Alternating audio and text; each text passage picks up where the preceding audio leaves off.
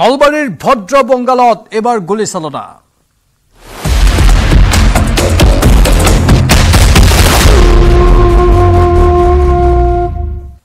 হয় লামডিঙৰ পিছত নলবাৰীত লক্ষ্যভ্ৰষ্ট হ'ল বনকৰ্মী। নলবাৰীত বনকৰ্মীৰ গুলীত আহত হ'ল ষষ্ঠ শ্ৰেণীৰ ছাত্ৰ।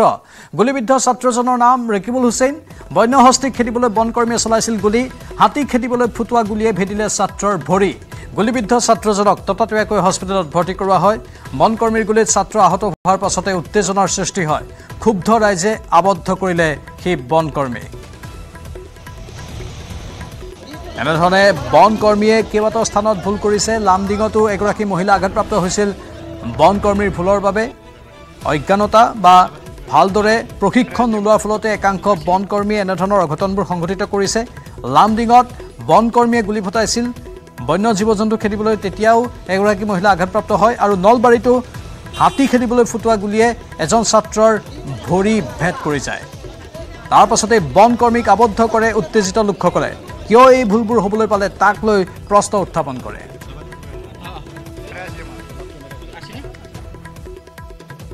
দহ বছৰীয়া ল'ৰা এজন ভদ্ৰাংগল বুলি গাঁও এখন অঁ তাৰ পৰা অনা হৈছিলে। এটা ইঞ্জুৰি চাইট আছিলে ভৰিত। ৰাইট লেগত আছিলে। গতিকে আমি এক্স ৰে কৰি পেলাই চালোঁ ভিতৰত এটা বগা বস্তু এটা সোমাইছে যোনটো ৰেডিঅ' পেক বুলি কয় বগা মানে এক্স ৰেত ওলাইছে। গতিকে সেইটো কেনেকৈ সোমাইছে সেইটো গম পোৱা নাই বাৰু। সেইটো অপাৰেশ্যন কৰি পেলাই হয় লোহাজাতীয় হয়। অঁ এটা ফৰেন বডি হয় আৰু বাহিৰা বস্তু অঁ। এতিয়া সংকটজনক নহয় বাৰু সেইটো অপাৰেশ্যন কৰি পেলাই বস্তুটো ওলোৱা গ'ল। ঠিকে আছে অপাৰেশ্যন ছাকচেছফুল হৈছে। হয় এতিয়া শিশুজন স্বাস্থ্য ভাল আছে। ভৰ্তি কৰা হৈছে ৱাৰ্ডত ৰক্ত যথেষ্টখিনি অলপমান গৈছে বাৰু কিন্তু সেইখিনি মেনেজ কৰা হৈছে আমাৰ ফালৰ পৰা। এতিয়া একো ক্ৰিটিকেল নহয়। এতিয়া ষ্টেবল আছে। ভদ্ৰমংগল গাঁৱত আজি হাতী খেদবা গৈছিল হাতী খেদবা যাওঁতে হাতী আছে বহুত দূৰত। ল'ৰাটোৱে বহুত দূৰত বল খেলি আছিল বল খেলি থাকোঁতে সিফালৰ পৰা ছাৰহঁতে ফায়াৰিং কৰি দিছে ল'ৰাটোক মোৰ ভাইটিৰ ল'ৰা। বাৰ বছৰ আছে। আৰু ইফালৰ পৰা ছাৰহঁতে হাতীও নাই ইফালে হাতী দেখাই নাই আমি বহুত মানুহ গৈছে মই কাষতে আছোঁ। এতিয়া ল'ৰাটোৱে ইফালে ফায়াৰিং কৰি দিছে ল'ৰাটোৰ ভৰিত পচি পৰি কিনে বাগৰি গৈছে বাগৰি যাই কিনে যেনেকুৱা পাইপবিলাক ফাটলি পানীটো ওলাই যায় নহয় এনেকুৱা ওপৰত গেলি চিটকি গৈছে তেজটো সি বাগৰি গৈছে বাগৰি যোৱাৰ পিছত তেজটো ওলাইছে। খেদি থকাৰ অৱস্থাত নহয় হাতীও গৈছে জি চি পিও গৈছে। তাৰপিছত গুলি আছে? অঁ এই পৰ ফৰেষ্টৰ মানুহে। ফৰেষ্টৰ মানুহে গুলি আছে। শিশুকেইটা খেলি আছে? খেলি আছিল। খেলি থকাৰ অৱস্থাতে মোৰ বাইদেউ গৈছে বাইদেউ যোৱাৰ পাছতে কৈছে ঢলি পৰি গ'ল ঢলি পৰি গ'ল। তাৰপিছতে ভৰিত হৈছে না। তাৰপিছতে এনেকুৱা হোৱাৰ পিছত ধৰি তেজে তেজ হৈছে। মানুহে তেতিয়া হাল্লা কৰি দিছে। তাৰমানে আমি তাতে চব গোটেই ল'ৰা ছোৱালীকেইটা খেলা খেলি আছোঁ। খেলা খেলি থকাত পিছত চব হাতী তিনিটা জংঘলত সোমাই গ'ল দুটা। তাৰপৰা জি চি বি তিনিখান। তিনিখানৰ এখন জি চি বি ওলাই গুচি আহিল ওলাই অহাৰ পিছত আমি ধৰি চব ল'ৰা ছোৱালীকেইটা জি চি বি চব যেতিয়া ওলাই গুচি আহিল আৰু হাতী নাই আৰু আমি আৰু চাওঁ চাৱা নাই চব মানুহ গুচি আহিল ঘৰে ঘৰে কোনোবা কানি ঘৰত গুচি গ'ল। কোনোবা কানি থাকিল আমি খেলা খেলি থাকিলোঁ ডাঙৰবিলাকে খেলা গ'ল সৰুবিলাকে এখন ফিল্ডত খেলে ডাঙৰবিলাকে এখন ফিল্ডত খেলে। খেলি আছোঁ চব যেতিয়া চব মাথৰিত উঠিছে মাথৰি পৰা সি ফায়াৰিং কৰি দিছে। কোনে? এই যোনটো অফিচাৰ আছিল আগৰবাৰো কৈছিল আমাক আমি কৈছিলোঁ ছাৰ তহঁতে যদি খেদিব নোৱাৰা আমি খেদিম। আমাক দি আমি খেদিম আমি কেতিয়া কৈছে তহঁতক ভৰিত গুলক? সেইকাৰণে আজি আকৌ সি ভৰিতে গুলাই থৈ দিছে কাক গুলাইছে এই ৰণিক সৰু বাচ্ছা। নেকিবোৰ হৈছে কি বুলিছে এতিয়া ক'ত লৈ গ'ল? এতিয়া মেডিকেল লৈ গৈছে। মই নাজানো মই ৰেঞ্জাক সুধিব লাগিব দেই। মই গৈছিলোঁ? ৰ'বা মই ৰেঞ্জাক মাতি নাই ন' ন' ন' ন' আমাৰ সাংবাদিক কৈলাশ ডেকা আছে ফুল লাইনত। কৈলাশ এটা মাৰাত্মক ভুল হ'ল বন বিভাগৰ ফালৰ পৰা। এতিয়া বন বিভাগে তদন্তৰ ঘোষণা কৰিছে নে হাত সাৱটি বহি আছে? নিশ্চিত প্ৰাঞ্জল যি সন্ধি আবেলিৰ ভাগত যি আচলতে হাতী খেদিবলৈ ফুটোৱা গুলি যি ছাত্ৰগৰাকীৰ ভৰিত লাগিছিল। আৰু তাৰ পিছতে আমি পূৰ্বৰ বাতৰিটো উল্লেখ কৰিছো যে আচলতে উত্তেজনাময় পৰিৱেশৰ সৃষ্টি কৰিছিল যদিও লগে লগে যি ছাত্ৰজনক নলবাৰী চিকিৎসা মহাবিদ্যালয়ত ভৰ্তি কৰা হৈছে অন্যহাতে চিকিৎসকে জানিবলৈ দিয়া অনুসৰি ছাত্ৰজন বৰ্তমান সুস্থিৰ হৈছে স্বাস্থ্য অৱস্থা অন্যহাতে যদি এই ঘটনাটোৰ বিষয়ে ক'বলৈ যায় তেতিয়াহ'লে চাওক আমি এই সন্দৰ্ভত বন বিভাগৰ লোকৰ পৰা আমি সাক্ষ্য ল'বৰ বাবে ভাষ্য ল'বৰ বাবে চেষ্টা কৰিছিলো। কিন্তু বন বিভাগৰ লোকে এই সমগ্ৰ ঘটনাৰ পৰা বৰ্তমান দায়েৰা দিয়া মন্তব্য দেখিবলৈ পোৱা গৈছে। তেওঁলোকে কোনো ধৰণৰ মন্তব্য কৰিব বিচৰা নাই? অন্যহাতে এই ঘটনাৰ আচলতে কোনগৰাকী বিষয়া নে বনকৰ্মীয়ে জড়িত আছে বা কোনগৰাকী বনকৰ্মীৰ গুলীয়ে সেইগৰাকী ছাত্ৰৰ ভৰি ভৰি ভেদিলে সেই কথাটো স্পষ্টকৈ জনোৱা নাই। আৰু এই ঘটনাক লৈ আচলতে নলবাৰীত বৰ্তমানো এই উত্তেজনা আছে। অন্যহাতে তেওঁলোকৰ যি আচলতে ভুল প্ৰশিক্ষণ এনে অন্য তেওঁলোকৰ যে কিহৰ কাৰণে এই ঘটনা সংঘটিত হবলৈ পালে সেয়া কিন্তু এক চিন্তনীয় বিষয় হৈ পৰিছে। অন্যহাতে উল্লেখ উল্লেখ কৰিছো প্ৰাঞ্জল চক। দীৰ্ঘদিনীয়া নলবাৰীত আচলতে বন্য হস্তীৰ এটা বৃহৎ জাকে আহ, বিভিন্ন প্ৰান্তত সন্ত্ৰাস চলাইছিল আৰু এই বন্য হস্তীক খেদি পঠিওৱাৰ উদ্দেশ্যে আজি প্ৰায় পঁয়সত্তৰ জনীয়া এটা দলে আচলতে নলবাৰী উত্তৰ অঞ্চলৰ কেহুৰুৱা চেংনৈ বৰগোপা বা ভদ্ৰবংগৰ এই অঞ্চলসমূহত অভিযান ৰাতিপুৱাৰ পৰা চলাইছিল। আৰু ৰাতিপুৱাৰ পৰা এই চলাই থকা অভিযানত মন্ত্ৰী জয়ন্ত মল্ল বৰুৱাইও আবেলিৰ ভাগত বনকৰ্মীসকলক সহযোগ কৰা পৰিলক্ষিত হৈছিল। কিন্তু আবেলিৰ ভাগত প্ৰায় সন্ধিয়াৰ আগমুহূৰ্তত আচলতে যিহেতু আজি দিনে নিশা দুটা সময়ছোৱাতে বন বন বিভাগৰ লোকে আচলতে অভিযান চলোৱা কথা আছিল। কিন্তু সন্ধিয়াৰ ভাগত সেইগৰাকী ছাত্ৰই সেই স্থানত খেল খেলি থকা সময়ছোৱাতে এই ঘটনা সংঘটিত হবলৈ পালে। যদিও বৰ্তমান সময়ছোৱাত আচলতে ছাত্ৰগৰাকীৰ অৱস্থা সুস্থিৰ। কিন্তু এই যি ঘটনা আচলতে বন বিভাগৰ লোকৰ কিয় ভুলৰ বাবে যে এই ঘটনা সংঘটিত হল তাক লৈ কিন্তু সকলোৱে চিন্তিত বা বিভিন্ন ধৰণৰ প্ৰশ্ন উত্থাপন হোৱা পৰিলক্ষিত হৈছে। প্ৰাঞ্জল ধন্যবাদ। কৈলাশ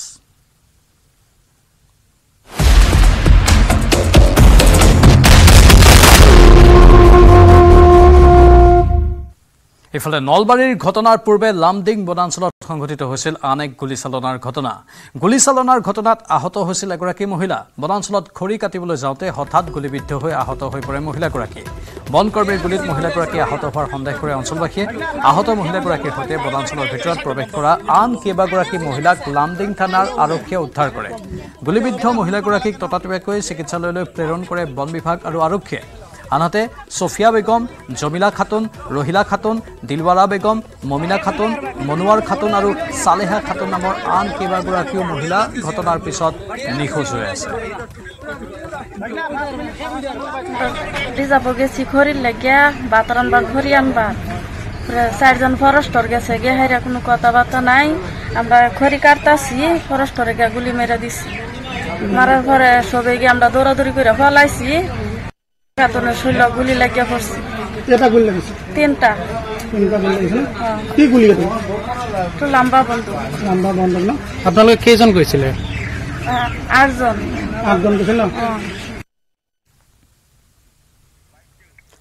লেটাৰ অফ ক্ৰেডিট কেলেংকাৰীৰ ৰায়দান। তিনি দশকৰ অন্তত ৰায়দান গোচৰটোৰ। পাঁচ অভিযুক্তক দোষী সাব্যস্ত কৰিছে আদালতে। সাতজনক দোষমুক্ত ঘোষণা কৰিছে আদালতে। হিতেশ্বৰ শইকীয়া প্ৰফুল্ল মহন্তৰ দিনৰ এই কেলেংকাৰী। কাৰ্বি আংলঙত সংঘটিত হৈছিল কৃষি আৰু পশুপালন বিভাগৰ কেলেংকাৰী।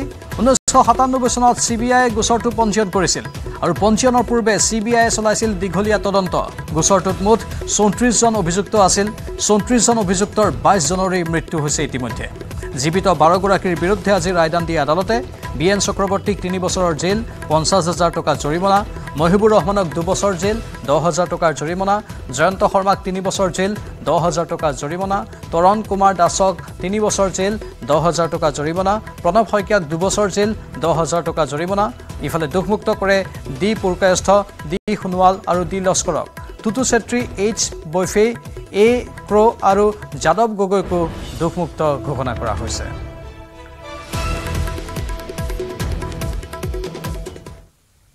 আজি বৰপেটা ৰোডত উপস্থিত হয় ৰাজ্যপাল লক্ষ্মণ প্ৰসাদ আচাৰ্য। বৰপেটা ৰোড চহৰৰ সৌন্দৰ্য বৰ্ধনৰ বাবে পৌৰসভাই নিৰ্মাণ কৰা বিষ্ণুজ্যোতি সৰোবৰ উদ্বোধন কৰে ৰাজ্যপালগৰাকীয়ে। সৰোবৰৰ ওপৰত নিৰ্মাণ কৰা অত্যাধুনিক ওলমা সেতু আৰু অম্বিকাগিৰি চকত নিৰ্মাণ কৰা ক্লক টাৱাৰৰো শুভ উদ্বোধন কৰে ৰাজ্যপাল লক্ষ্মণ প্ৰসাদ আচাৰ্যই। অনুষ্ঠানত ৰাজ্যপালৰ লগত উপস্থিত থাকে মন্ত্ৰী ৰঞ্জিত কুমাৰ দাস বিধায়ক মনোৰঞ্জন তালুকদাৰ ফণীধৰ তালুকদাৰ আৰু পৌৰপতি ৰাজেশ চৰকাৰ। ক্লক টাৱাৰটো মুকলিৰ পিছত ৰাজ্যপালগৰাকীয়ে আনুষ্ঠানিকভাৱে মুকলি কৰে বিষ্ণুজ্যোতি সৰোবৰ আৰু ওলমা সেতু। পৌৰসভাই চৌষষ্ঠি লাখ পঁয়সত্তৰ হাজাৰ টকা ব্যয় সাপেক্ষে বিষ্ণুজ্যোতি সৰোবৰত নিৰ্মাণ কৰে ওলমা সেতু। ক্লক টাৱাৰটোৰ নিৰ্মাণ ব্যয় ঊনচল্লিছ লাখ বিয়াল্লিছ হাজাৰ টকা। ইয়াৰ উপৰি ডেৰ কোটি টকা ব্যয় সাপেক্ষে বিষ্ণুজ্যোতি সৰোবৰৰ চৌদিশে নিৰ্মাণ কৰা হৈছে পকী দেৱাল আৰু দেৱালত অংকন কৰা হৈছে আটকধুনীয়া ছবি। এইসমূহ উদ্বোধনীৰ পিছত ৰাজ্যপালগৰাকীয়ে মুকলি সভাত অংশ লয়।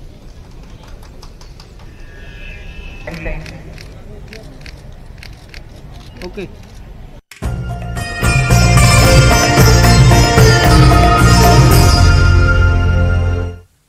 দীপাৱলীৰ প্ৰাক্ষণত উজলি উঠিছে প্ৰভু শ্ৰীৰামৰ জন্মভূমি। ৰাম মন্দিৰৰ প্ৰাণ প্ৰতিষ্ঠাৰ পিছত প্ৰথমবাৰলৈ উদযাপন কৰা হৈছে দীপ উৎসৱ। সন্ধিয়া সৰজু নদীৰ তীৰত আৰতিৰ পাছতে একেলগে প্ৰজ্বলিত হ'ল পঁচিছ লাখ বন্তি। ৰাম নামেৰে মুখৰিত হৈ পৰিল সৰজু নদীৰ পাৰ। আধ্যাত্মিক পৰিৱেশে বিৰাজ কৰে অযোধ্যা নগৰী। দীপাৱলীৰ প্ৰাক্ষণত ন কইনাৰ দৰে সজাই তোলা হৈছে ৰাম মন্দিৰ। ৰং বিৰঙী আলোকসজ্জাৰে উজলি উঠিল সমগ্ৰ অযোধ্যা। ৰাম মন্দিৰত অনুষ্ঠিত লেজাৰ শ্ব' চাবলৈ ভিৰ কৰিলে ভিন্ন প্ৰান্তৰ লোকে।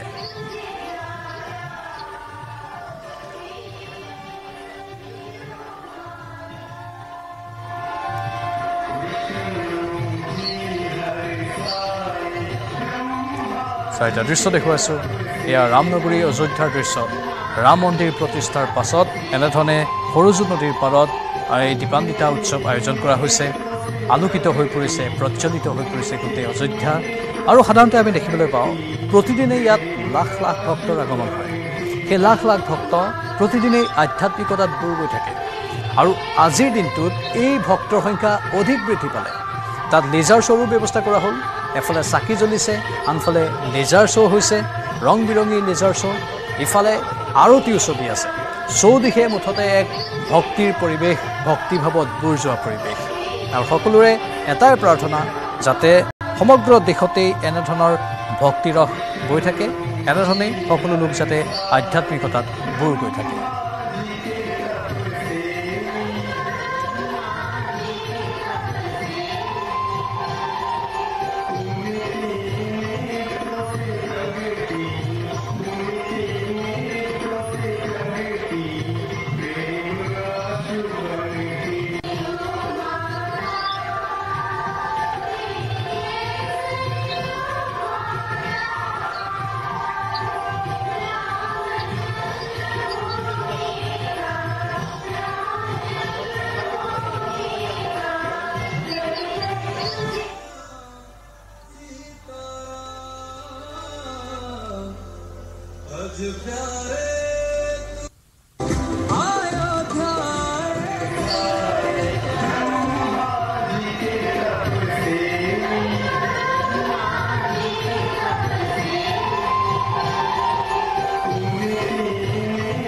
এয়া লেজাৰ শ্ব'ৰ দৃশ্য আকৌ দেখুৱাইছোঁ আপোনালোকক এনেধৰণেই লাখ লাখ ভক্তক মন্ত্ৰমুগ্ধ কৰে লেজাৰ শ্ব'ৰ জৰিয়তে।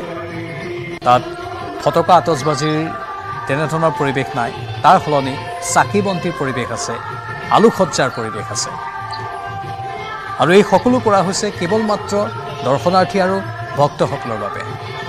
এয়া অযোধ্যাত শ্ৰীৰাম মন্দিৰ প্ৰতিষ্ঠা কৰাৰ পাছত প্ৰথমবাৰ দীপান্বিতা উৎসৱৰ আয়োজন কৰা হৈছে। আৰু এই দীপান্বিতা উৎসৱতে ৰামৰ কীৰ্তি তাত প্ৰজ্বলিত হৈছে। ভগৱান শ্ৰীৰামে কেনেধৰণে শত্ৰুক দমন কৰিছিল দস্যুক দমন কৰিছিল সেই সকলো ঠিক অসমৰ ভাওনাৰ দৰেই উদ্ভাসিত হৈ পৰিছে।